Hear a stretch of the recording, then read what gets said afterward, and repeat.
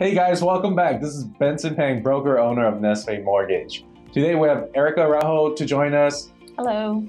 We're going to talk about 2 1 buy down. Before we start, Erica started really NestMade Mortgage with me since the beginning. So, really, such an honor to bring her on board to explain this to you guys what it means by a 2 1 buy down, something that we hear all the time these days. Builders are talking about it, sellers are talking about it, buyers are talking about it. So, what is a 2 1 buy down?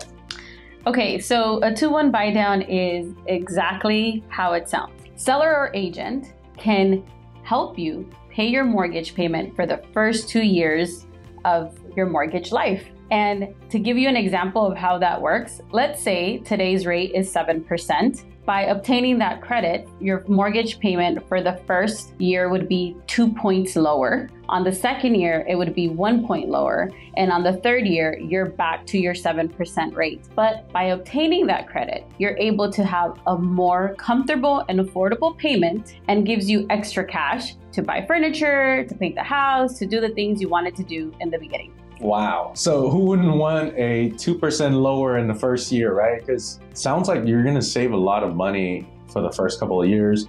And what, guess what? Is someone else is paying for it. That's exactly it. Someone else is, is helping you pay your mortgage for the first two years. So with that said, I want to know like who who pays for it? Who pays for it? Who can pay for it?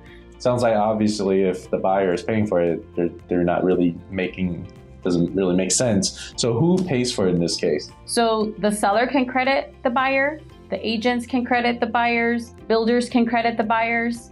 And what that means is the lender will collect that money upfront and put it in an escrow account for them. So every month that the payment is due, the client will make their portion of it, and then that account would go ahead and pay the difference for them. Wow, that's actually a great, um, great idea because if you're a renter right now going into a homeowner, you actually get a really big payment shock, right? Like a couple thousand dollar difference sometimes. In this case, it really helps ease into that new payment. So, Erica, if the client is getting $10,000 in seller credit towards 2 1 buy down, like why wouldn't they just reduce the price? That's a great question. By reducing the price over the length of 30 years versus doing the 2 1 buy down, you actually benefit more from the 2 1 buy down because you're going to see instant monthly savings. In the first year, that's about three to four hundred dollars on a monthly savings by doing the 2 1 buy down now instead of getting the credit. Sounds like a lot of people can benefit from this. Like, tell us who can benefit from a 2 1 buy down? Actually, everybody can. Buyers can, even sellers can. If they promote this in their listings, their listing will probably attract more buyers because they can help the buyers with their payment for the first two years. Yeah, so it, we're now in a buyer's market, right? And as a seller, if you're trying to sell your house, promote your house, this is one of the ways where you can actually put it in your MLS where you list your property and have something that says sellers willing to pay for the 2 1 buy down, right? So this is a great way to really promote your house. Anything else you want to add to um, to this two one buy down?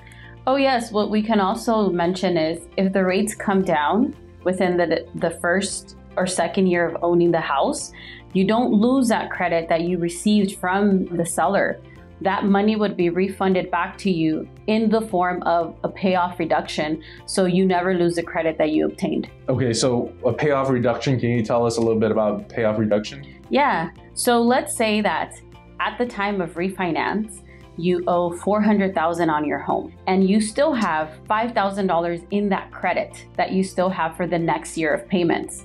Your payoff would in a sense be 395 instead of 400,000 because that you're getting the credit back. Man, that sounds like a win-win-win situation. Sellers winning, buyers winning, the agents winning. Everyone is. If you guys have more questions about how this works, give us a call. I'd love to break it down for you and give you numbers so you can position yourself to make an offer. If you like this video, please like our video, subscribe and call us. Visit our website at www.nestmade.com did I tell you now we're now part of the Find My Way Home network? A bunch of loan officers got together, started creating video content, and put them all on a website, findmywayhome.com.